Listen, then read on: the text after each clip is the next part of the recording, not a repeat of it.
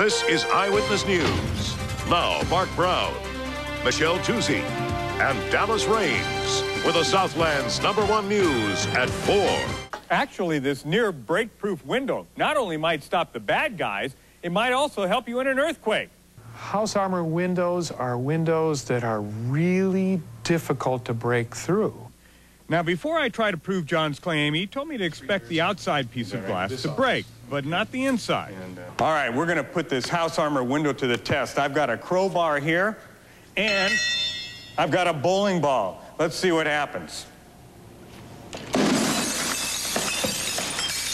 Well, as expected, the outside glass did break, but the house armor glass is still intact. Now let's see what happens when I uh, put a crowbar to it.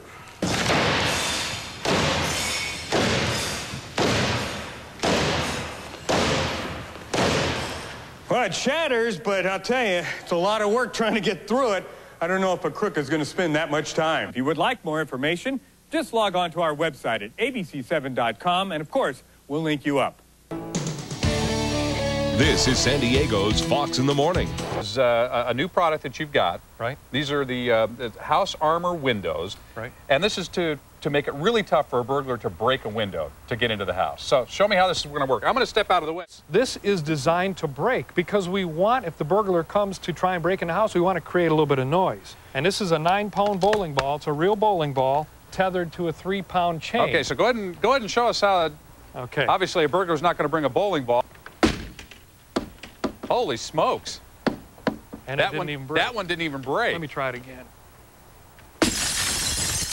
Okay, so that one broke, but the one behind it didn't. Right. You're watching San Diego's number one source for news. This is Local 8 News at 7.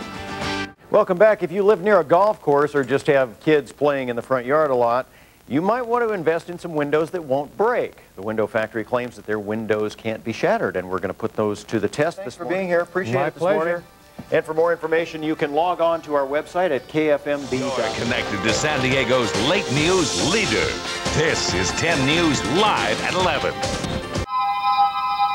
How secure is your home? What's between you and that potential intruder? Brenda owns one of the fastest pitches in town.